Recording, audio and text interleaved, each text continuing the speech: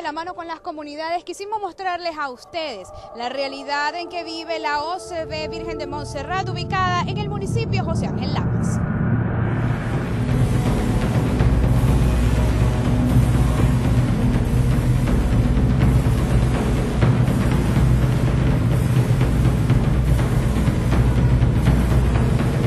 Esther, ¿cómo están haciendo ustedes con el agua para cocinar, para la electricidad acá? ¿Cómo hacen ustedes? Bueno, el agua, mira, este lo tenemos que buscar en todo, ¿verdad? Muchas veces este, conseguimos cuando no baja un chorrito de agua por allá, entonces salimos al lado afuera y pedimos agua al frente, ¿verdad? Las compañías que quedan al frente, una que está por allá, siempre nosotros salimos y conseguimos el agua.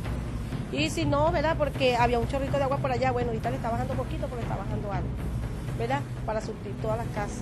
Entonces tenemos que turnearnos cada uno, ¿verdad? Para, para agarrar acá quien un poquito de agua y cocinar. ¿Y aquí duermen también? Bueno, sí, aquí este, habitamos nosotros, mi familia. Por aquí. Vamos a ver, eh, Esther, ¿cómo hace? ¿Cuántas personas viven aquí? ¿Cuántas personas duermen aquí? Aquí, ¿verdad? Dormimos cuatro personas, mis dos niños, ¿verdad? Y, y, y mi esposo, que dormimos aquí. Entonces, bueno, aquí nos acomodamos en este humilde hogar.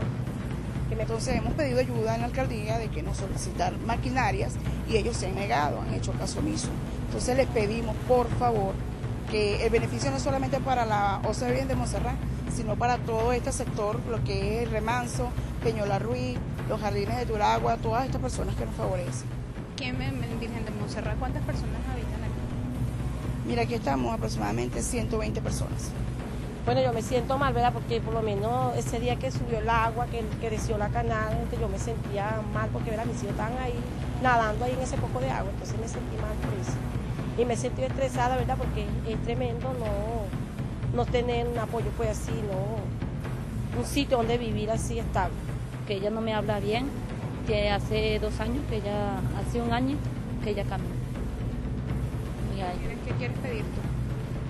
Bueno, para eso me le dan una beca pa- para, para llevar, seguirla llevando al. O sea, bueno, estamos aquí prácticamente sin nada, sin, sin agua, sin, sin luz, todo es un solo pantano.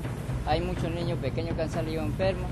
Le agradecemos a la directiva que han sido personas muy buenas que nos han ayudado y este, necesitamos luz y agua y todo lo que nos puedan ayudar.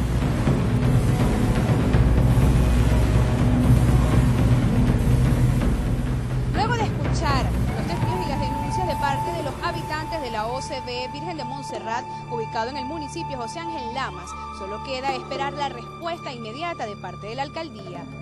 En las cámaras de Félix Capote, María de los Ángeles Ceballos, en un trabajo especial en De la mano con las comunidades.